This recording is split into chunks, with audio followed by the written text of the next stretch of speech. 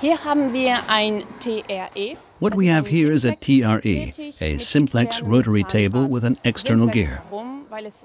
Why simplex? Because it is very simple, hence very easy and reduced to the essentials, which means that we do not have a roller, a rotary plate or housing. It only consists of a ring adapter, a robust bearing, a gearing and a drive.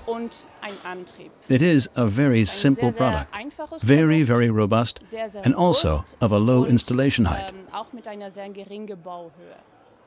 Our quick change system for easy mounting and demounting is also interesting. We supply the following sizes size 100, size 750, and size 1100.